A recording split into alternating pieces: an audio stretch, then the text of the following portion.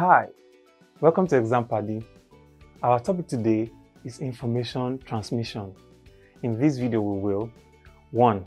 Discuss the meaning of information transmission, 2. Highlight ancient means of information transmission, and 3. Identify modern method of transmitting the information. What is information transmission? Information transmission is the process of sending processed data from one person or place to another in a meaningful form through a communication medium. Information transmission is exchanging information in any form, that is, voice, data, text, and images over a medium like air, cable, water, using a natural or artificial equipment or tools. Human beings have been transmitting information since ancient times Information becomes relevant to the productive world if it leaves the source to the users. For information to reach the users, there are channels or methods of transmitting the information. The two methods of transmitting information include 1. Ancient method of information transmission and 2.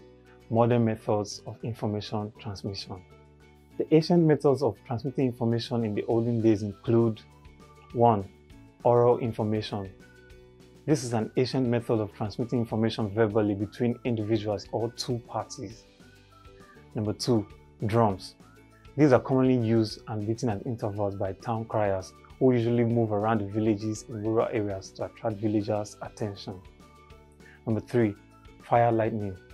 This is used to indicate the presence of someone at a particular spot. Number four, town crying. This means using a person to pass information from the village head or clan head to the people. Number five, whistling. Blowing of whistle could be used to draw people's attention or pass information across in some places. Number six, drawing diagrams. This involves sketching images and pasting them on walls or on the ground to transmit information. Example, maps and so many others. Number seven, representation. In the olden days, farmers would leave their farm products by the roadside unattended and place a certain number of stones beside them to represent the cost of each item. Number 8. Metal gong. This is a hollow metal beaten with a stick to make announcement to community members. The modern methods of information transmission usually use electronic communication channels. Below are some of the popularly known methods. Number 1. Prints. This is the process of producing text and images on paper to send information from one place to another. Number 2 telephone. This is an instrument designed for the simultaneous transmission and reception of the human voice. Number three, telex.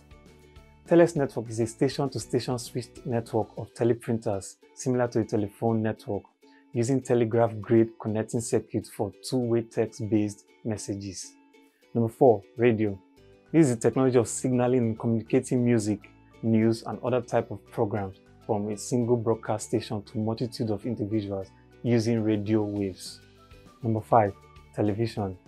This is a dynamic means of transmitting moving images and sound from a source to a receiver through electric or electromagnetic signals. Number 6. Fax. This is a telephonic transmission of scanned printed materials, usually to a telephone number connected to a printer or other input devices. 7. satellites. This is a natural or manufactured object that orbits around another the artificial satellites have a dish that transmits information into space, making it possible for communication relay, weather forecasting, navigation, and broadcasting. Number 8. Internet. The Internet is a global system of interconnected computer networks that uses the Internet protocol suite to communicate between networks and devices. Number 9. GSM. The global system of mobile communication is an improved telephoning method without telephone cables. We've come to the end of this lesson. Attempt these questions to evaluate yourself. Number one, explain information transmission and types. Number two, highlight five ancient and modern methods of transmitting information. Thank you for learning about information transmission with me. I'll see you in our next lesson. Bye.